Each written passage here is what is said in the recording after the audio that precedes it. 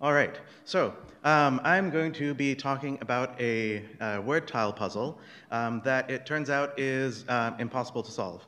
Um, so yeah, that's a spoiler. You can't solve it. Um, so let's get like right into it. Here's the basic setup of the puzzle. There are uh, a bunch of tiles, and they're split into the top and bottom, and um, they have symbols uh, along the top or bottom. So they can have a symbol on the top, none on the bottom, uh, symbols on both, uh, and so on. And um, the goal of this puzzle is um, to line the tiles up um, side by side so that the top and bottom read the same. So here it says, I heart Bang Bang Con, which is true. Um, I hope that you all do too. Um, and so this is a successful solution of this tile puzzle. And um, we're programmers, so we might think, oh, hey, I can go and like write a program to solve this. Um, but we're gonna get to it. No, you can't. Um, so here's a question we're gonna like explore specifically, which is given a set of tiles, so like we saw an example problem, um, is there a solution or not? Not even like, can we solve, not even let's solve it, let's, is there a solution or not? Um, and this is called the post-correspondence problem, um, named after someone called Emil Post from a long, long time ago. Um, and like I said, writing this program is actually impossible. Um, I mean impossible, like not hard, not slow or NP complete, or it'll be like a pain. I just mean impossible. Um, and to, to understand why, we have to kind of throw our minds back some 80 plus years um, when Benedict Cumberbatch was working on um, really like foundational work. This is actually a few years after the work we're talking about, but um, about five years before this shot was taken, Benedict Cumberbatch was working on um, something called, um, he's actually called Alan Turing. Um, he was working on something called, uh, he wrote or this paper called On Computable Numbers with an Application to um, Entscheidungsproblem. Any German speakers? How did I do? Not so great. Okay. Um, so the very first sentence in this paper uh, is the computable numbers may be described briefly as the real numbers whose expressions as a decimal are calculable by finite means. And this is 1936. Um, he had to define what calculable by finite means even means. Um, like, there were no computers at this time. Uh, so he came up with a formalism called the Turing machine. Um, and I assume he was nice uh, because he didn't actually call it after himself. Uh, that's what we call it. Um, he called it an A machine for an automatic machine. Um, and uh, I'm going to explain how this uh, Turing machine works very, very fast. I'm going to try and do this as fast as it's ever been done. So we're in 2018, so we're just going to assume a bit more knowledge than they had in uh, 1936. And so basically, a Turing machine is kind of like our computers, just worse.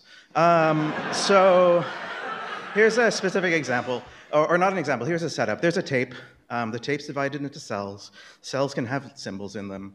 Um, there's a, a, cursor or a, a read head uh, pointed somewhere, uh, and this, uh, there's some state, like just a number, we can say. Uh, and there, the Turing machine can only do three things. Um, it can write a symbol at the tape head, kind of like erase the A and put a B instead.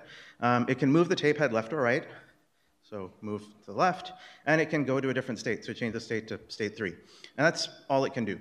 So um, to have this in a kind of compact way, I'm going to draw a little table, um, which is uh, for state one, if the thing under the head is empty, uh, or A or B, then we do the following right, move left or right, and then go to which state.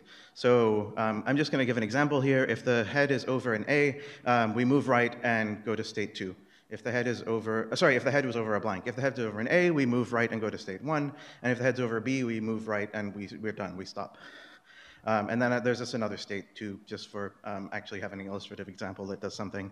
Um, so here's uh, a very quick run through of how this might look. So um, we're over in, we're in state one and we're over a blank. So we have to fill in an A, move to the right, change to state two. And then now we're over a blank and uh, we're in state two. So we have to do what it says over there, which is fill in a B, move left, change to state one. And gonna run through this quite a bit faster than this. So um, now we have to move right uh, and change to state one. And then, oh, we are over a B and we're in state one, and so we're done. Um, so that was an example of a Turing machine that stopped. Um, and here's an example of a Turing machine that didn't stop. Um, uh, this is a very, uh, very minor change to the previous one. We're just changing this state one in the top uh, of uh, the result of um, what, you, what you do when there's a blank and you're in state two to a state two. Uh, and then let's do the same thing again. So uh, blank A, state one, we got to move to the right, write an A and state two. And then now, uh, this is where the difference is. Before we moved left and went to state two. Now we're moving left and going to state, uh, to state one. Now we're moving left and going to state two. But now instead of going uh, right, we are, or instead of um, leaving the A there, we're overwriting it with a B uh, and then moving over and then state uh, moving over to a blank, uh, a blank tile, and now we're kind of at like this similar starting point where we were before. Um, and so if we like run through this, I kind of think of like state one as the one that wants A's, and state two as the one that wants B's, and just changing that little flip over means that now we just end up with loads of B's, and it never stops. Um, whereas previously it just ended up with a couple of A's, but actually stopped. Um, so like state two is the bad guy. Um, so okay, Turing machines done in three minutes, two minutes, I'm not sure. Um, okay, so um, the halting problem is given a, is the question, uh, much like the post-correspondence problem, given tiles, is there a solution? The halting problem is given a Turing machine, does it stop? Um, and part of uh, Turing's paper was proving that it does not stop. Um, the proof is cute, I'm not including it here, but catch me afterwards, and it's, it's kind of like one of those, um, if, uh, if I asked your brother who was behind the door, you know, one of those logic things. Um, anyway, so the halting problem is undecidable, and Turing told us this. Um, so what the, the, way we're going to show that the post-correspondence problem is also uh, impossible to solve is by um, doing something called a reduction. I just like to think of it as uh, not letting some impossibility sneak in the back door. So um, suppose we could solve the post-correspondence problem. Well, we're going to find a way to turn a Turing machine into a post-correspondence problem so that if we could solve the post-correspondence problem, we could like decide if the Turing machine was going to halt or not. Um, so we want to turn a program into a puzzle. Um, this is curious, but kind of cool. Um, so here's the same state table we had for the second machine, the one that loops forever. Um, and I'm going to uh, just get rid of the word state because I, there's going to be a lot of symbols here, and like state is five letters and it's a waste of space. Um, so I just replace it with two, one, and done is x. Um, and so for each uh, like row in these tables, we create a tile. And so on the top, um, and the, the, way to read these tiles is the one is uh, that the read head is um, next to a blank, so it's over a blank. That's why it's one with nothing to its right. Um, and the uh, the one is the state. And then, um, so here, if the read head is over a blank and it's in state one, it moves to the right and uh, writes an A. So now it is to the right of an A. It has moved over. And uh, similarly here, if it's um, if there's an A under the head, then it moves uh, to the right uh, and leaves the A there. And similarly, this is, there's just a lot of these. Um, so, uh, oh yeah, this, is a, this one's a bit different. So the, the ones for moving to the right are kind of easy because there's um, the, the character that is there is just immediately, uh, sorry, vague. Um, the thing here is that for ones that need to move to the left, um, we have to have an extra tile just to show what could have been to the left of the head that we are moving to the left of. So here, um, the 2 is um, on the right of the A, and then it moves left so that's on the left of the A. And it has, left, it has written an extra B over there. Um, this is like, it's a lot of these. Um, this is a special starting tile. This is one we're going to have to start with. Um, and there's a few extra tiles there's just a lot of tiles, okay? Um, so there's a few extra tiles. These ones are just like copying. They copy, uh, they're like A on the top, B on the bottom. Uh, and also, uh, I should have said the dot in this starting tile is like a, a spacer between, um, between kind of units of the Turing machine. And the X stuff we don't need because this one doesn't stop. The X is like some special stuff to make the halting ones work. Um, so to see how this goes, we start off with the starting tile. Um, and um, reading across the bottom, we now have, uh, we had dot one dot, and on the top we only have a dot. So we have to go up into all these tiles and find one that will let us have uh, a 1 on the top, and then still allow us to put a dot because we have to make these match, right? So the dot, dot, 1. So the only one that actually works here is the uh, 1A2.